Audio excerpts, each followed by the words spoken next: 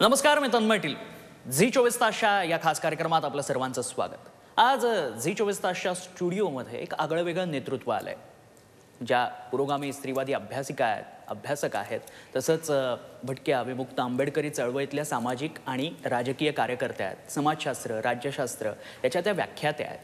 तसंच त्यांचा संवेदनशील लेखिका आणि कवयित्री म्हणूनही परिचय. पण त्यांची अजून एक ओळख आता महाराष्ट्राला झालेली आहे. त्या आहेत शिवसेनेच्या उद्धव बाळासाहेब ठाकरे गटाच्या उपनेत्या प्रवक्त्या सुषमाताई अंधारे. त्यांचं खूप खूप स्वागत करूयात. झी चोवीस तास या स्टुडिओत. खूप खूप स्वागत ताई. थँक्यू थँक्यू सो मच ताई गेले दोन ते तीन महिने आम्ही बघतोय. पक्षप्रवेश झाला तुम्ही प्रवक्ता झालात आणि डायरेक्ट उपनेतेपदाची जबाबदारी तुमच्यावरती आली. दसरा मेळाव्यातलं भाषण झालं. हा सगळा प्रवास अगदी झपाट्यानं होतोय. कसं बघता तुम्ही याकडे? शिवसेनेत येणं हे निश्चितपणे मी ठरवून आली.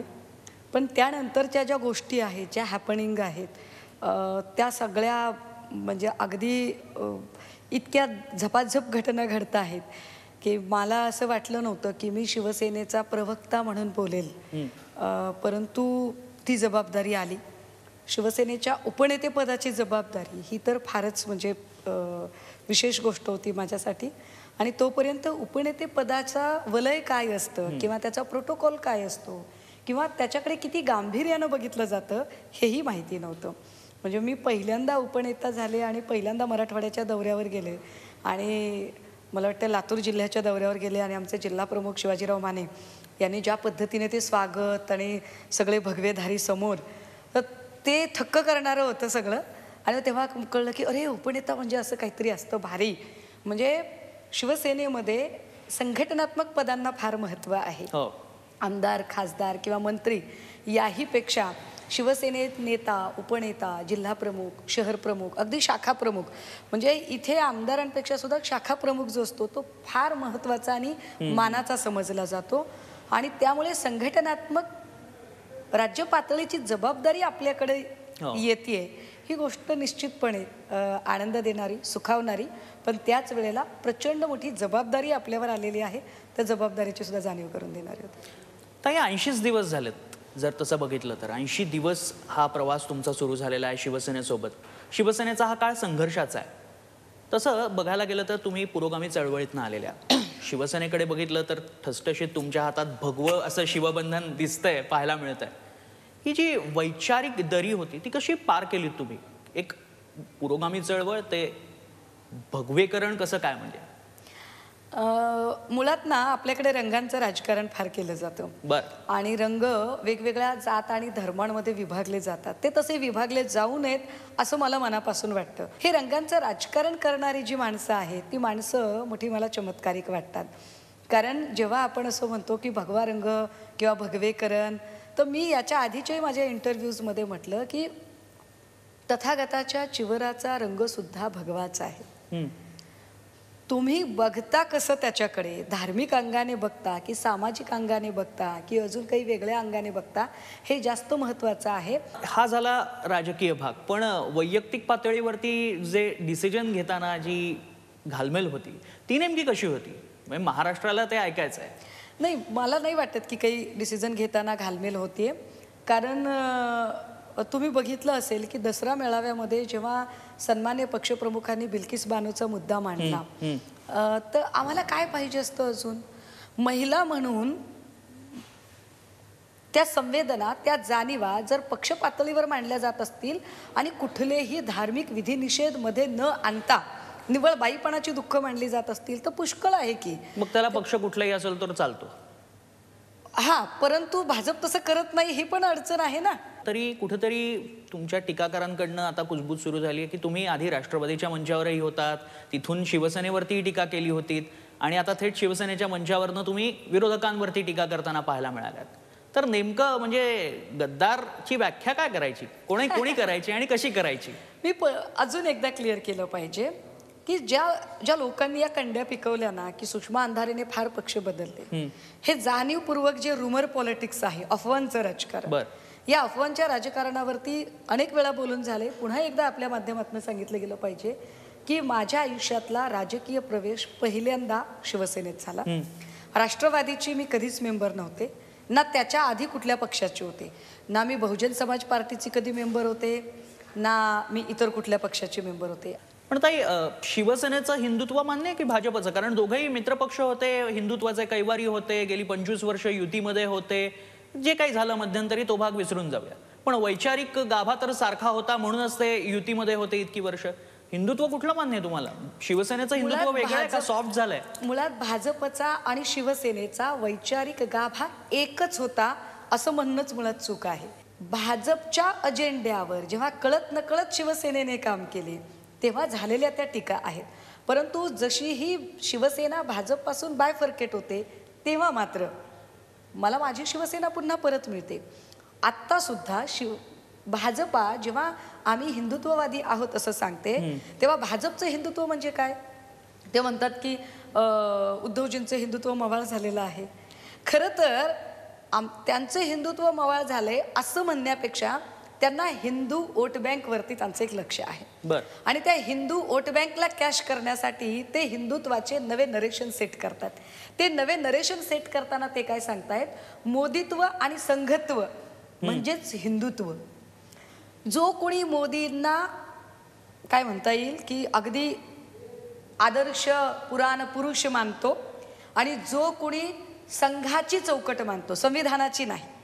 संविधानाची चौकट मानणाऱ्याला ते हिंदू मानायला तयार नाहीयेत. ते म्हणतात की संघत्व मानलं पाहिजे मोदीत्व मानलं पाहिजे. मी म्हणते की संविधान मानलं पाहिजे तर ते खतरनाक आहे. ओव्हरऑल सगळ्याचा विचार केला म्हणजे मला तुमचा मुद्दा लक्षात आला. ह्या सगळ्या गोष्टी शिवसेनेत आहेत म्हणून सुषमा अंधारेंनी शिवसेनेत प्रवेश. अर्थात शिवसेना या सगळ्यांना सांभाळून घेऊन चालते. कारण शिवसेनेत जितके धर्मवीर आनंद दिघेंचं योगदान असतं तितकंच शिवसेनेमध्ये साबीरभाई शेखचं सुद्धा योगदान असतं. शिवसेना ते योगदान मान्य करते. मी हे वारंवार सांगण्याचा प्रयत्न करते की जेवढ्या म्हणून सो कॉल्ड पार्टी पॉलिटिक्स आहे या पार्टी पॉलिटिक्समध्ये जात आणि धर्माच्या आधारावरती सेल केलेले आहेत. शिवसेनेत असा कुठलाही सेल नाहीये. जातीचं राजकारण शिवसेनेत केलं जात नाही. ताई अनेक महिने झाले वर्ष झाली आहेत शिवसेनेला काहीशी मरगळ आली अशीही टीका झाली. त्यानंतर फायर ब्रँड नेत्या फायर ब्रँड महिला नेतृत्व शिवसेनेला मिळालेलं आहे. ती कुठेतरी आता पोकळी भरून काढली जाते सुषमा अंधारेंकडनं अ, हे मला वाटतं मी नाही सांगू शकणार. हे जे लोक आहेत ते काम बघणारे ते लोक जास्त सांगू शकतील. आता हा फायर ब्रँड शब्द सुद्धा कसा जोडला गेला आय डोंट नो पण मी सांगितलं पाहिजे की सुषमा अंधारे अशाच आभाळातनं टपकलेल्या नाही आहेत. सुषमा अंधारे गेली पंधरा वीस वर्ष सातत्याने चळवळीत काम करत आहेत.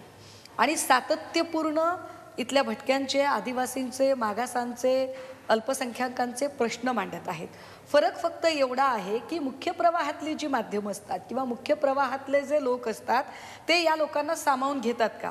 किंवा कोपऱ्यामध्ये जे आम्ही आंदोलन करणारी लोक आहोत या आमच्यावर तो प्रकाश झोत पडतो का? तर तो पडताना दिसत नाही.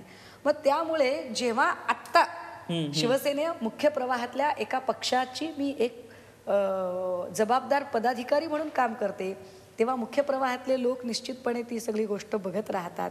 आणि त्यांना असं वाटतं की अरे शिवसेनेला एक कोणीतरी मिळालंय. पण या एक्सपोजर तुम्हाला मिळाल्यानं काही लोक झाकोळली गेली असं वाटतं तुम्हाला? दीपाली सय्यद यांचं मी काल एक इंटरव्ह्यू एका माध्यमावरचं बघितला.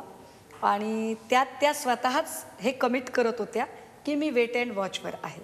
अच्छा. म्हणजे may be she is in dilemma असू शकतं. त्यामुळे कदाचित त्या दिसत नसतील. उर्मिला मार्तोंडकरांची म्हणजे डायलमा म्हणजे मला कळलं नाही. म्हणजे शिंदे गटाच्या वाटेवर त्या जायला जाण्याच्या तयारीत आहेत असं तुम्ही? त्यांनी रात्री ते कमिट केलं स्वतःहून की मी लवकरच माझा निर्णय जाहीर करणार आहे. का आपण म्हणजे अचानक ही आलेली अचानक मला नाही सी मी त्यांना एकदाही भेटलेली नाहीये. त्यामुळे त्याच्याबद्दल मला काही फार भाष्य करता येणार नाही. आणि असू शकतो. प्रत्येकाला व्यक्ती स्वातंत्र्य आहे. कदाचित एखाद्याला सत्तापद महत्त्वाचं वाटू शकतं. जर शिंदे गटाकडे जाऊन जर सत्ता मिळते असं वाटत असेल आणि सत्तेच्या माध्यमातून जास्त कामं होतात असं त्यांना वाटत असेल तर ते तिकडे जाऊ शकतात. ज्याला त्याला पक्षाने काही जबाबदाऱ्या दिलेल्या आहेत आणि त्या जबाबदाऱ्या प्रत्येकजण अत्यंत प्रामाणिकपणे पार पाडत आहे त्या त्या जबाबदाऱ्या निश्चितच पार पाडताना दिसत आहेत आणि तुम्ही म्हणालात तसं की ज्याला जे काम दिलंय तिथे तिथे तो तो नेता तो प्रवक्ता तिथे तिथे दिसेल. पण सुषमा अंधारे मात्र सगळीकडे दिसत आहेत सध्या हेच चित्र आहे. ताई चळवळीचा उल्लेख तुम्ही केला त्या अनुषंगानं प्रश्न आहे. शिवसेना शिवशक्ती आणि भीमशक्ती येत्या काळात एकत्र येताना पाहायला मिळेल? शिवशक्ती भीमशक्ती हा जो प्रयोग आहे जो अनेक नामदेव ढसाळ साहेब होते तेव्हाही तो प्रयोग हो. झाला होता. कदाचित त्याच्याही पेक्षा फार मोठा प्रयोग येणाऱ्या काळात दिसू शकतो. त्यासोबतच आत्ता जे काही सगळ्या पॉलिटिकल सिनोरिओज बदललेले आहेत त्यामध्ये भटके आदिवासी आणि अल्पसंख्य विशेषतः मुस्लिम समुदाय हा सुद्धा शिवसेनेकडे मोठ्या प्रमाणात वळताना दिसत आहे. उद्धव ठाकरे इतके दुर्मिळ आहेत की ते कोणालाच भेटत नाहीत कारण गेल्या अनेक दिवसांपासून सातत्यानं महाराष्ट्र हेच ऐकतोय की उद्धव ठाकरे वेळच देत नाहीत ते आम्हाला भेटलेच नाहीत. सुषमा अंधारेंना तरी भेटलेत का? मला खूप वेळा भेटले. म्हणजे मी? ऐंशी दिवसात किमान एक पाच पन्नास वेळा त्यांना भेटली आहे पुलाकरांना बरंच पाणी वाहून गेलंय. शिवसेना आता काट टाकेल. नवी शिवसेना आली आहे. शिवसेना उद्धव बाळासाहेब ठाकरे चिन्ह नवीन मिळालेलं आहे. आगामी काळात मुंबई महानगरपालिका आहेत. नवी आव्हानं आहेत शिवसेनेसमोर. कसं बघता तुम्ही याकडे मशाल चिन्ह शिवसेनेला नवीन नाही. मशाल चिन्हावर शिवसेनेने याच्या आधी निवडणूक लढलेली आहे. दुसरी गोष्ट अशी की अनेक पक्षांना निवडणूक चिन्ह बदलावी लागलेली आहेत. ती काँग्रेसलाही बदलावी लागलीत. आधी बैलजोडी मग गाय वासरू किंवा चरखा हात अशा पद्धतीने ते बदलत गेलेले आहेत. ज्या काळामध्ये सोशल मीडिया पॉवरफुल नव्हता त्या काळातही कार्यकर्त्यांनी घरोघर जाऊन चिन्ह पोचवलेली आहेत. त्यामुळे आता तर एवढा हायटेक मीडिया आहे. आपल्या हाताशी सगळी सोशल मीडियाची साधनं आहेत. त्यामुळे तुम्ही पाहिलं असेल की मशाल हे चिन्ह मिळाल्यापासून पहिल्या एक ते दीड तासाच्या आत जवळपास अनेक म्हणजे सगळ्या शिवसैनिकांच्या व्हॉट्सअप स्टेटसला मशाल दिसत होती. म्हणजे ते चिन्ह पोचवणं हे काही फार. उलट मला असं वाटतं की ही संधी आहे. म्हणजे ही इष्टापत्ती आहे अशा अर्थानं मी. बघते. कारण मी फार सकारात्मक विचार करणारी मुलगी आहे. मला असं वाटतं की आदित्यजींच्यासाठी ही एक नवी संधी आहे. की चिन्ह नवीन आहे. सगळं स्ट्रक्चर नव्याने उभं करायचं आहे. आणि नव्याने स्वतःला सिद्ध सुद्धा करायचं आहे. किंबहुना ते सिद्ध करत आहेत. नाही पुढच्या काळातली आव्हानं हीच असतील ईडी आणि सीबीआयच्या केसेस सध्या तरी हीच आव्हानं कुठलीच. आव्हानं नाही आहेत. शिवसेनेसमोर मतदारांना आपलंसं करणं आहे गेल्या अडीच वर्षांचा बॅकलॉग भरून काढणं आहे. ही कुठलीच आव्हानं नसणार आहेत. शिवसेनेच्या समोरची आव्हानं ही दोन प्रकारची आव्हानं आहेत. एक विरोधकांना उत्तरं देणं. आणि विरोधकांच्या प्रत्येक चाली परास्त करणं. बर. त्या चाली या ईडी आणि सीबीआयच्या माध्यमातून होणाऱ्या चाली आहेत. या प्रवासामध्ये सगळ्या पुढच्या सगळ्या प्रवासात शिवसेना एकटी असेल की महाविकास आघाडी म्हणून शिवसेनेचा तो एक भाग असेल? सध्या तरी आम्ही महाविकास आघाडी असेच एकत्रित आहोत. मी सध्या तरी हा शब्द फार जबाबदारीने आणि काळजीपूर्वक वापरत आहे. कारण महाविकास आघाडी असावी की नसावी हा जो प्रश्न आहे हा प्रश्न माझ्या नेतृत्वाच्या पातळीचा प्रश्न आहे. त्यामुळे त्या प्रश्नाचं उत्तर मी देणं संयुक्तिक निश्चितपणे नाही आहे परंतु निश्चितपणे येणाऱ्या काळात सुद्धा जर भाजपाला उत्तरच द्यायचं असेल तर फक्त महाराष्ट्रातच नाही संपूर्ण देश पातळीवर सगळ्याच पक्ष संघटनांनी भाजप विरोधी एक मजबूत बांधणी आणि एक मजबूत मोर्चा उभा केला पाहिजे. नव्हे ती आत्ता काळाची गरज आहे. अदरवाईज ही संविधानाची चौकट सगळी ध्वस्त झाल्याशिवाय राहणार नाही. नाही पण ताई राजकारणात कधी काय होईल सांगता येत नाही. जे आत्ता आपण पाहतोय सगळ्या महाराष्ट्राने पाहिलं देशाने पाहिलेलं आहे उद्या शिंदे गट आणि उद्धव ठाकरे पुन्हा एकत्र आले आणि भाजप शिवसेना ही युती पुन्हा झाली तर तुम्ही कुठे असणार आहात? मला नाही वाटत आता तसं होऊ शकेल. का वाटत नाही? त्याचं कारण पण आहे माझ्याकडे. सी मातोश्री फार प्रेमाने सगळ्यांना जवळ करते आणि फार प्रेमही देते.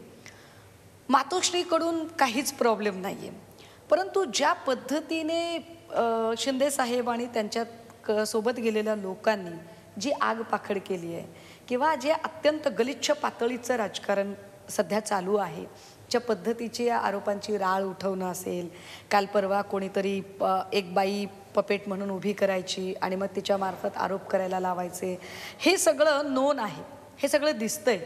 त्यामुळे भाजपा ज्या ज्या चाली सांगते त्या चालीवर जर शिंदे गटातले लोक काम करत असतील तर मुळात भाजपाचीच इच्छा नाही की हे सगळे एकत्र बसावे? ताई मला आता वेगळ्या मुद्द्यावरती यायचंय की तुमचा आक्रमक चेहरा तुमची आक्रमक भाषणं तमाम महाराष्ट्र पाहतोय या आधीही पाहिलेली आहे. टीका करताना तुम्ही फार अग्रेसिव्हली बोलता पण तुमच्यात एक कुठेतरी संवेदनशील कवयित्री देखील दडलेली आहे लेखिका देखील दडलेली आहे. ते सगळं सोडून म्हणजे इकडे राजकारणात यायचं हे आक्रमक राजकारण करायचं तुम्हाला कुठेतरी वाटत नाही की ती कवयित्री कुठेतरी हरवली आता ह्या सगळ्या निश्चितपणे वाईट वाटतं की अरे आपण कधी काळी संवेदनशील तर लिहित होतो आपण काहीतरी मांडत होतो कवितेचे गोल्ड मेडल मिळवत होतो कवितेची पुस्तकं सिलेबसला लागत होती युपीएससीच्या वक्तृत्व स्पर्धांमध्ये तुम्ही प्रावीण्य हो. मिळवलेलं आहेत अनेक बक्षिसं आणि पारितोषिकं तुम्ही. जवळपास राज्यातल्या सगळ्या. मानाच्या वक्तृत्व आणि वादाच्या स्पर्धा जिंकलेल्या आहेत परंतु माझं आयुष्य असं चाकोरीबद्ध काही राहिलंच नाही म्हणजे मी कधी काळी प्राध्यापक होते मग प्राध्यापिकेची मी यशदातली अधिकारी म्हणून काम करायला लागले. मग यशदातली नोकरी सुटली त्याच्यानंतर मी एका वर्तमानपत्राची संपादक म्हणून काम करायला लागले. मग तीही नोकरी सुटली त्याच्यानंतर मी आता स्पर्धा परीक्षांच्या विद्यार्थ्यांना शिकवते. चाकोरीबद्ध जगण्यापेक्षा किंवा फक्त पैसे कमावण्यासाठी जगण्यापेक्षा मला असं वाटतं की असं काही झालं पाहिजे. की आपण इथे नसताना सुद्धा आपल्या अपरोक्ष आपण जगात नसताना सुद्धा आपली चर्चा झाली पाहिजे. असं काहीतरी वो वो काम कर कुछ. म्हणजे ते ते म्हणतात ना की खुदी को कर बुलंद इतना की हर तदबीर से पहले खुदा खुद बंदे से पूछे बोल तेरी रजा क्या है? तर ते ते बुलंद करणं ते तो सातत्याने मी प्रयोगशील आहे. आणि प्रयोगशील म्हणून परंतु मी प्राध्यापिका म्हणून जे माझं संविधानिक मी कॉन्स्टिट्यूशन हो. शिकवते. तर त्याच्यामुळे मला ती कॉन्स्टिट्युशनल फ्रेम जास्त महत्त्वाची वाटते. आणि ती फ्रेम आधी वाटायचं की मी माझे विद्यार्थी घडवते त्यांना मी फार चांगलं नागरिकशास्त्र शिकवते तर सिव्हिल सायन्समधनं माझा विद्यार्थी एक जबाबदार नागरिक घडेल. नंतर असं वाटलं की नाही माझं संविधान फार धोक्यात आहे मी चळवळी केल्या पाहिजेत. मी दक्षिण भारतामध्ये अनेक राज्यांमध्ये गेले महाराष्ट्रातही अनेक गावखेड्यांमध्ये पसरले खूप ठिकाणी गेले. पण मला असं वाटलं की नाहीच इथे होतच नाहीये. तेव्हा मात्र माझी संविधानिक चौकट वाचवण्यासाठी मी शिवसेनेचा प्लॅटफॉर्म घेतला. त्यामुळे या सगळ्या प्रवासामध्ये एक जोडणारा धागा आहे की ही संविधानिक चौकट जगली पाहिजे. अगदी. संविधानिक चौकट जगली पाहिजे यासाठी सुषमा अंधारे आता शिवसेनेच्या बळानं शिवसेनेच्या साक्षीनं रणमैदान गाजवताना आपल्याला पाहायला मिळणार आहेत येत्या काळामध्ये. ताई तुम्ही आज आलात. झी चोवीस तासला वेळ दिलात. त्याबद्दल खूप खूप आभार. Thank you thank you so much छत्रपतींचा विचार. म्हणजे